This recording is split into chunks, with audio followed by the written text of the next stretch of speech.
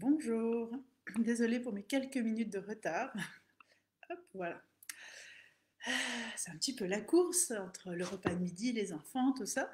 C'est pas comme d'habitude, je suis toute seule le vendredi.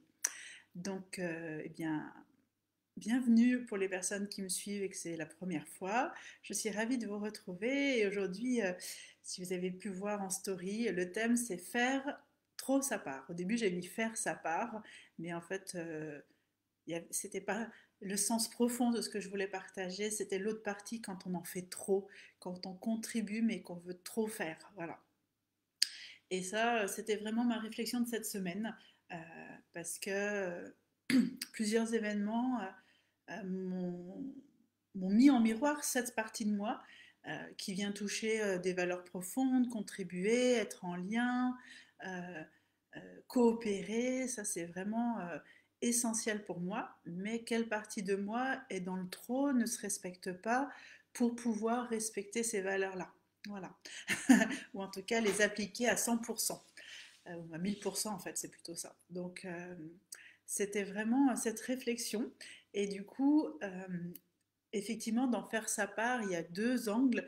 Il y a la partie ben, faire trop sa part et faire sa part. C'est les deux angles d'approche pour moi et de réflexion.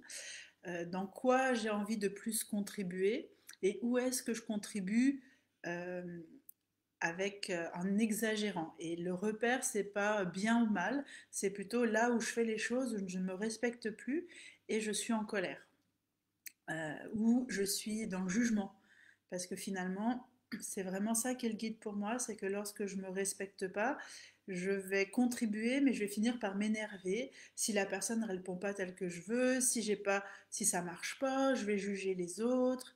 Voilà, il y a une partie de moi qui fait ça. Et là, je me dis, bah ok, je suis dans le trop, je suis dans trop faire, trop contribuer.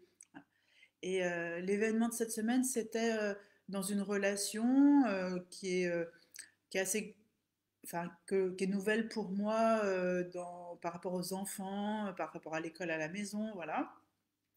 Et dans tout ce, ce brouhaha et ce miasme euh, d'informations non pas très claires, euh, moi j'ai toujours à cœur de respecter, je, je, ressens euh, la partie connectée aux autres, l'hypersensible, elle sait, elle sent, j'ai vraiment de l'empathie pour les maîtresses, pour la directrice de l'école, j'ai de l'empathie pour tous les gens qui, qui, donnent, voilà, qui donnent beaucoup d'eux, qui ont beaucoup à gérer parce que euh, il y a beaucoup à gérer, par exemple, quand on est directrice d'école, et elle fait sa part clairement, donc ça, ça, ne touche pas la directrice d'école, c'est plutôt moi, comment j'interagis, et il y a des parties de moi qui ont envie d'être parfaites, que ce soit clair, je fais attention à pas trop, mais quand même, j'essaye de tout le temps, euh, par exemple, voilà, euh, c'est quoi qui est juste, c'est quoi les règles, euh, je dois faire un dossier, pas un dossier, et en même temps, il y a des parties de moi qui hurlent en disant, mais mince, j'ai pas choisi l'école à la maison,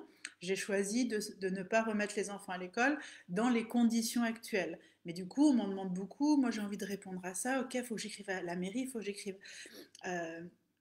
à l'éducation nationale pour moi. Et puis en fait, je me rends compte que je réponds à toutes les demandes et tous les cadres, et ce que beaucoup de gens peuvent vivre en ce moment, parce que c'est là où je trouvais ça intéressant par rapport à ce qu'on vit, c'est que je pense qu'aujourd'hui, euh, une chose qui est quand même lourde dans ce qu'on est en train de vivre, il y a la peur, il y a l'insécurité, il y a la méconnaissance, mais il y a surtout aussi beaucoup de, demandes euh, dans des règles très, très pas rigide, mais beaucoup de règles en fait.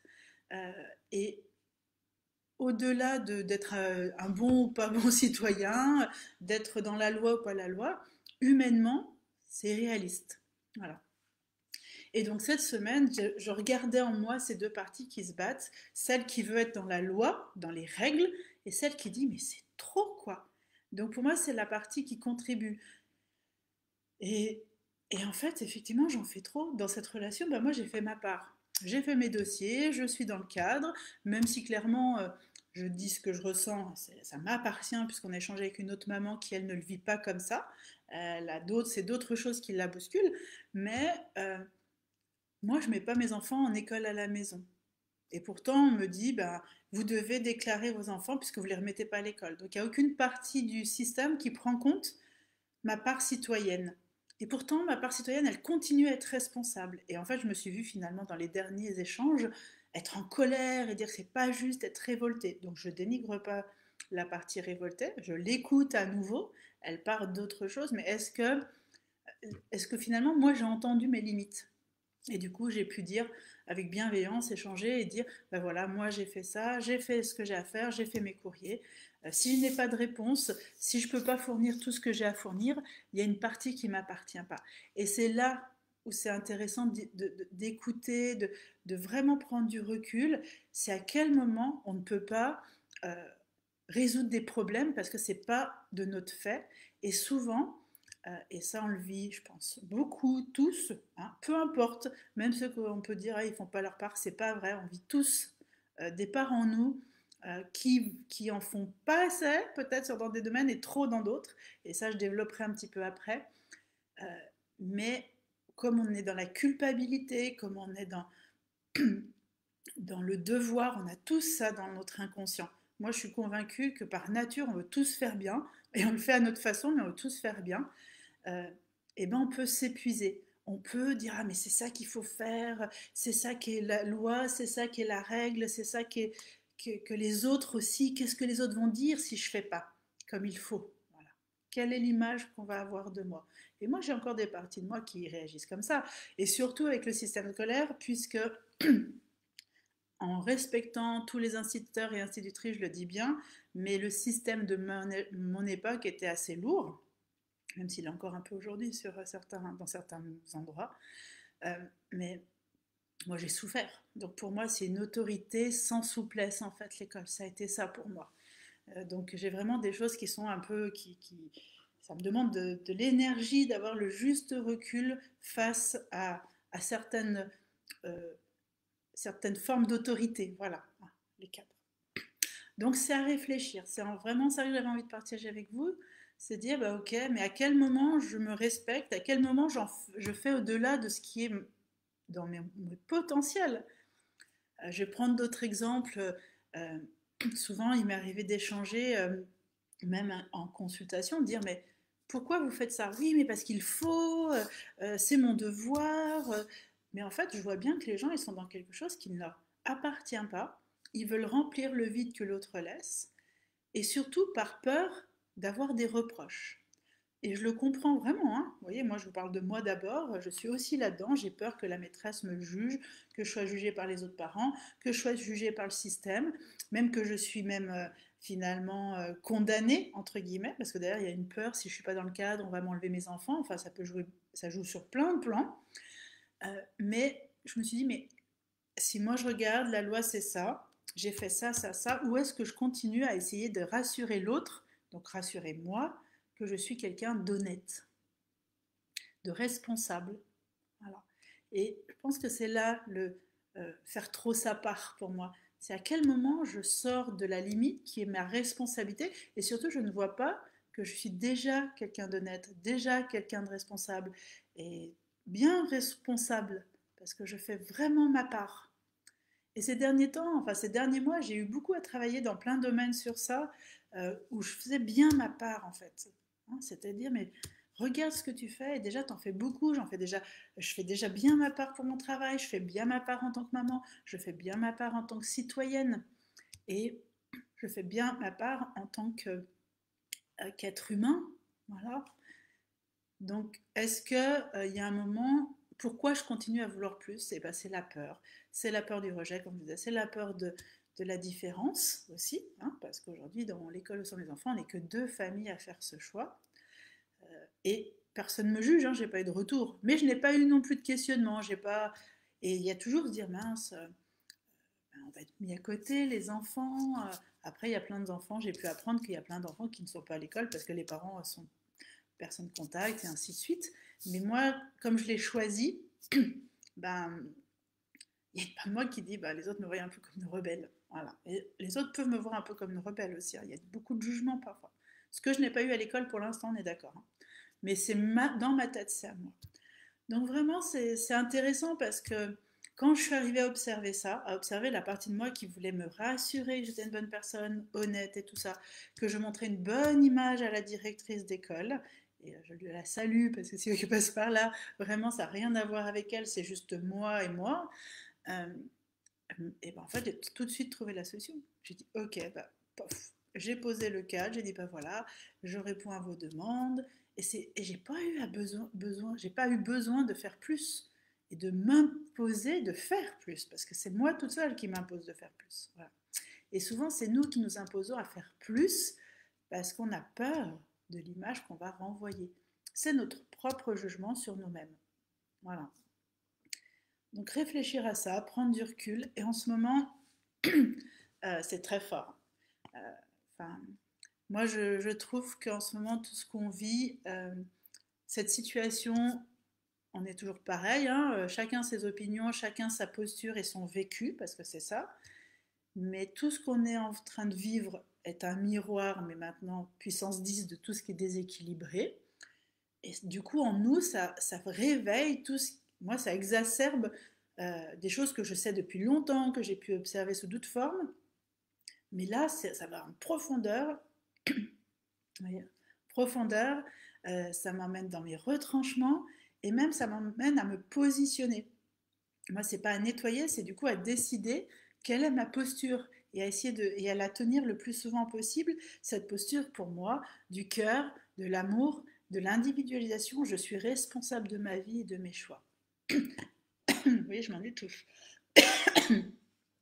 Donc le dire, ça touche quelque chose dans mon corps, hein, vous voyez Voilà. Donc vraiment, pensez à à quel moment vous faites trop de votre part. Mais pour pouvoir définir à quel moment vous faites trop de votre part, c'est aussi observer tout ce que vous faites déjà dans votre vie. Parce que euh, il y a justement tout ça, c'est qu'il y a beaucoup de personnes qui ne se rendent pas compte qu'elles en font déjà beaucoup. Parce que c'est pas ce que les autres attendent, ou c'est pas ce qu'elles ont appris qui était au moins un maximum. Et puis on a une belle croyance qui est euh, si on ne souffre pas, ça ne suffit, ça pas ça ne prouve pas qu'on le mérite. Hein, il y a quelque chose avec la souffrance, la flagellation. pour réussir, pour, pour avoir ce qu'on veut, on doit souffrir. Voilà. Ça, c'est une vraie croyance euh, qui nous emmène vers des comportements toujours plus. Et du coup, bah, c'est prendre le temps déjà de faire la liste. Hein. Vous pouvez vraiment faire une liste où est-ce que déjà je contribue beaucoup? Où est-ce que je prends déjà bien ma place d'être humain, de citoyenne, de mère, de père, euh, d'adolescente? J'en sais rien s'il y a des adolescentes qui écoutent. Euh, est-ce que déjà je peux observer ce que je fais déjà? Beaucoup Parce que moi, je, crois que c'est ça la base. Après, on s'occupe de ce qui est plus déséquilibré parce qu'on aura bien nourri le terreau, bien nourri les, bases et on n'aura pas peur d'être un peu déstabilisé par quelque chose d'un peu plus, un peu moins agréable. Voilà. Mais je regarde, je regarde ce que je fais et je prends le temps, je le note, je l'observe, je le ressens. C'est pas que dans le mental, hein, c'est pas je fais une liste, je la regarde, ah oui c'est vrai, je fais tout ça et on repasse à autre chose. Je prends, on le temps d'écouter ce qu'on ressent. Ok, effectivement, tout ce que je fais. Et quand on fait ça, euh, moi je peux vous le dire, vous allez aussi faire le bilan des trucs que vous portez trop, quoi. Et dire, mais ça, j'ai envie d'arrêter. Je vois là où, je me dépense de l'énergie et je suis épuisée, en fait. Parce que quand on n'est pas aligné, on s'épuise. Voilà. Et ensuite, bah, il y aura déjà des premiers nettoyages. Moi, il y a plein de choses que j'ai. Du coup, ça m'a invité à me repositionner, à reclarifier d'où je venais, qu'est-ce que je faisais. Ça bouscule l'entourage. Parce que du coup, ce que vous portiez, vous ne le portez plus. Donc là, autour de vous, ils disent Mais mince, il y a du vide. Il peut y avoir des reproches Ah, mais tu fais plus ça. Ok, mais oui, mais moi je fais déjà ça. Et ça remet les autres en question aussi dans leur propre euh, euh, exagération, là où ils dépassent leur propre euh, alignement à eux, leur propre cercle de possible, voyez, hein, dans leur rôle. Donc ça vraiment, c'est intéressant, mais ça peut bousculer autour de vous. Ça, c'est sûr, moi je vous dis j'ai eu l'expérience qu'il y a des gens qui ne comprennent pas, mais tu fais plus ça, j'ai l'impression que tu fais plus attention à moi, ou, euh, pourquoi tu fais moins, euh, je sais pas, par exemple, pourquoi tu fais moins à manger en ce moment? Bah, J'ai dit que j'étais un peu fatiguée, que je faisais déjà beaucoup et que j'avais envie de moins faire. Si ça n'a pas été entendu, je le respecte, mais voilà, je fais moins, je l'ai nommé. Par contre, il faut nommer, effectivement, hein, n'oubliez pas d'exprimer votre nouvelle, votre nouvelle position. aux autres. Voilà, j'ai pris conscience que là, j'étais un peu dans le trop pour ça et j'ai besoin de, lâcher un peu ces parties-là, mais nommer à l'autre, parce qu'effectivement, que ce soit amicalement, professionnellement ou amoureusement, par exemple, l'autre, il va rien comprendre si vous dites pas, hein, il peut pas deviner. Donc, euh, nommer. Mais c'est un vrai, c'est vraiment intéressant et c'est, ça libère et du coup, ça invite chacun à reprendre sa place. Voilà. Dans le couple, c'est quelque chose de très fort parce que les personnes vont pouvoir euh, chacun va reprendre sa place aussi, ses responsabilités. Euh, aujourd'hui, euh, dans le mouvement plutôt féministe, on va dire oui, les hommes ils font pas, et gna gna gna. Mais moi, je peux vous dire qu'effectivement, il y a des hommes qui font pas parce qu'ils ont vu des mamans toujours faire, ils sont habités à, ce qu'on leur fasse. Mais moi, j'ai vu aussi beaucoup de femmes faire sans laisser la place à l'homme de, faire. Alors, c'est pas ou la faute de l'un ou la faute de l'autre, on est d'accord. Justement, le but, c'est plus le combat, c'est pas toi qui fais pas, gna gna gna. C'est quelle, posture moi je choisis et je laisse à l'autre la place. Et puis, si c'est pas fait, on en discute. Pourquoi? Voilà. Et là, on revient dans la relation, on revient dans la coopération, dans la communication. Et au travail, c'est pareil, avec les enfants, c'est pareil, avec les amis, c'est pareil. Voilà. Donc, voilà un petit peu ce que j'avais envie de partager autour de, ce trop prendre sa, trop faire sa part trop faire sa part, c'est à quel moment en fait je sors de, mon propre rôle. Je prends le rôle de l'autre. Et aujourd'hui, ben, on le vit aussi. Euh, moi, je l'ai pu le vivre, par exemple, euh, dans le fait que les gens me disent ce que je dois penser, ou ce que je dois dire, ou, ou même, euh, par exemple, quand on échange avec quelqu'un, alors moi je l'ai beaucoup vécu parce, dans le, mon monde de, de développement personnel ou de maman, où les gens euh, découvrent après moi, euh, par exemple, euh, le portage, la motricité libre ou même les produits naturels. Moi, ça fait 20 ans hein, que j'utilise des produits naturels. Moi, je suis presque à la phase de plus utiliser de produits. Enfin, je suis déjà dans une autre étape, mais les gens ne sont pas censés le voir, ça, je suis d'accord. Mais les gens qui arrivent, j'ai l'impression qu'ils me connaissent un peu et qui arrivent, oh oui, tu as découvert ça et tu sais, il faut faire comme ci, il faut faire comme ça. Et ça, c'est, j'ai envie de dire à l'autre, mais hé, reprends ta place. Là, tu es en train de me transmettre quelque chose que je n'ai pas envie d'entendre. Parce que la personne, elle ne m'a pas demandé, est-ce que tu connais? Voilà. Est-ce que tu connais euh, ça? Si je dis oui, je connais, ben voilà, j'ai pas besoin d'informations. Mais aussi, euh, en ce moment, c'est beaucoup avec tout ça, c'est les gens qui vous envoient des informations en vous disant, regarde ça, c'est très important, c'est un sujet vraiment vital, il euh, faut que tout le monde le connaisse moi, je, crois, hein, pour ceux qui me suivent sur les réseaux, euh, ma page perso, je partage beaucoup de choses. Mais je ne partage pas en disant aux gens, croyez ça. Je partage pour transmettre de l'information, mais l'information, après, elle fait ce qu'elle veut. Je ne dis pas aux gens, ça c'est le mieux. Je dis ce que moi, ce qui est bon pour moi, ce qui vibre pour moi, mais ça ne veut pas dire c'est ce qui est bon pour moi, c'est bon pour toi. Ça, je ne crois pas du tout à ça. Moi, ce qui est bon pour moi, ça l'est et l'autre, si ce que je fais, ça l'inspire, tant mieux, ça l'aide, tant mieux, ça le soutient, tant mieux, ça lui donne une nouvelle connaissance, une nouvelle vision des choses, tant mieux. Mais je ne cherche pas à convaincre.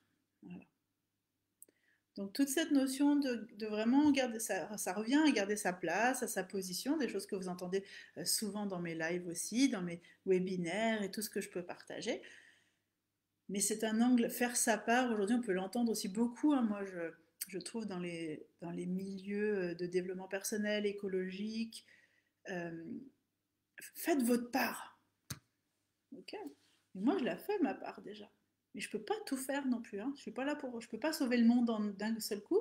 Donc, quelles petites choses je peux faire? Ben, Moi, je fais déjà des choses au niveau écologique euh, dans mon propre quotidien, j'ai fait des choix, j'ai évolué, hein, parce que j'étais pas du tout là, enfin, pas dans cette démarche autant marquée qu'avant. Euh, et voilà. Mais faisons des petits pas. Mais à quel moment on n'envahit pas l'autre et on n'impose pas l'autre, on transmet des idées. Et puis de toute façon, c'est que comme ça que les choses vont évoluer.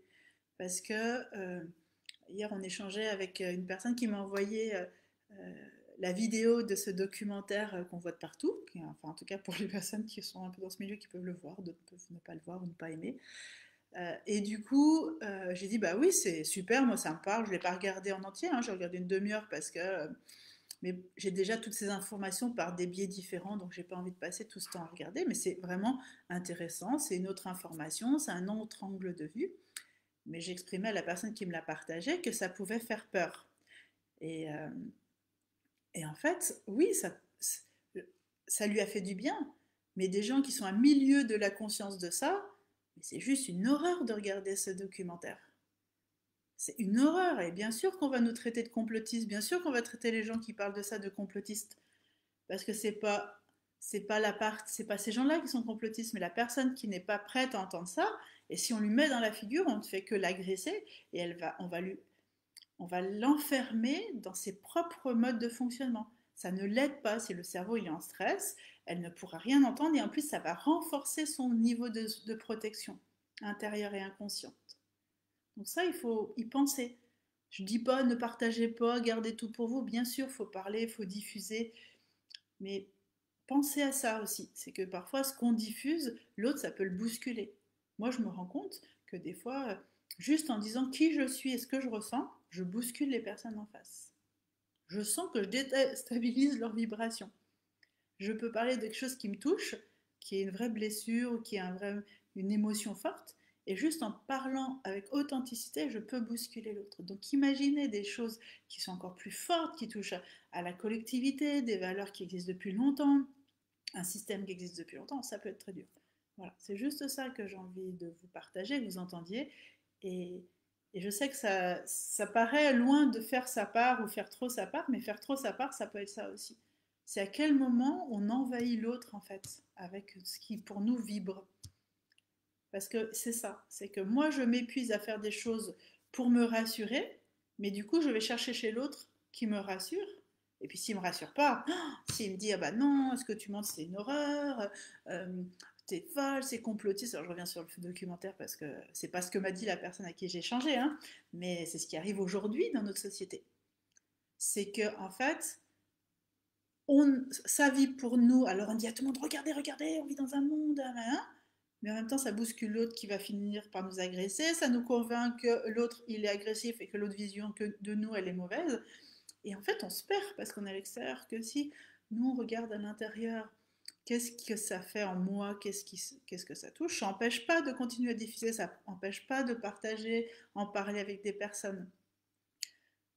Mais on n'a pas la même posture, on n'a pas le même élan, on n'est pas dans la démarche de convaincre, on est dans la démarche de, de transmettre. Et moi, pour moi, c'est différent ça. Et aujourd'hui, euh, peu importe de quel bord on est, et puis c'est ça qui m'inquiète, c'est qu'aujourd'hui, on doit choisir. Euh, moi, j'ai une sensation qu'il faut choisir un clan. Donc, j'ai clairement euh, défini que je ne choisissais pas de clan. J'ai jamais fait partie de clan. j'ai jamais fait partie de groupe depuis jeune. Je ne fais partie d'aucun clan. Je ne suis ni pour la politique ni pour euh, les complotistes. Je prends les informations de tout le monde et j'en fais quelque chose pour moi et pour rester aligné. Par contre, j'ai mes valeurs il y a des choses qui ne me parlent pas, on est d'accord. Mais ça, c'est important d'y réfléchir parce qu'on ne transmettra rien aux autres, on ne peut pas aider. On sait aujourd'hui que le cerveau, s'il en stress, il n'apprend rien de nouveau. Rien. Même si aujourd'hui, il faut se bouger un petit peu, on est d'accord. Hein. il va falloir euh, que les consciences, elles grandissent mais vous ne pouvez pas faire grandir les consciences des gens en les attaquant. Pensez juste à vous, pensez à vous euh, quand euh, quelqu'un vient et veut vous, vous convaincre de quelque chose qui ne vous parle pas, ça vous agresse, ressentez dans votre corps ce que ça fait, c'est hyper agressif. Donc voilà, c'était, euh, j'ai un petit peu extrapolé, mais pour moi, ça rejoint, ça revient toujours à la base, individualisation, qui je suis, qu'est-ce que je ressens, qu'est-ce qui se passe, et tout ça va se refléter, voyez, à l'extérieur très loin. Ça a des résonances sur tout ce qui se passe autour de moi, socialement et collectivement, voyez. Et ça, je suis vraiment convaincue de ça. Et moi, la seule chose qui m'importe, c'est d'abord qu'est-ce que moi je ressens, qu'est-ce que j'en fais et comment après je contribue. Voilà. Donc, pensez à quel moment vous êtes dans votre contribution avec le cœur ou quand est-ce que vous êtes dans le trop contribuer, qui, est, plutôt un besoin par rapport à des blessures qu'un vrai besoin du cœur? Et c'est pas mal, on l'est tous. Moi, la première, je vous en parle, hein, vous voyez, on est tous là-dedans puisqu'on ne nous a pas appris à prendre notre propre pouvoir, donc on doit cheminer pour le redécouvrir. Mais j'avais envie de partager ça. voilà. Laurine, bah, avec plaisir pour le partage. Merci de me suivre et de m'écouter.